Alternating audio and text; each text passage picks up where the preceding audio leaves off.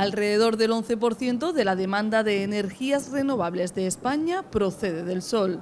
Poco se ha hecho para sacarle el máximo rendimiento, salvo estudios teóricos que no se han aplicado.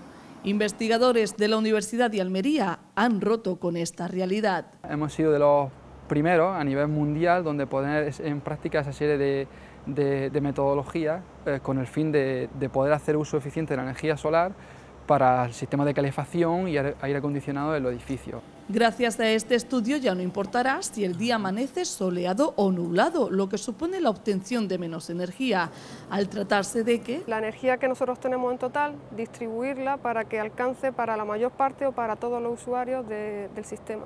El resultado es un reparto eficiente y mejor aprovechamiento de la energía. El estudio ayuda a hacer más eficientes esos sistemas ya que permite distribuir la energía del sistema entre varias viviendas. La idea sería en un futuro poder extrapolar todos estos resultados a, centros comerciales o a viviendas particulares.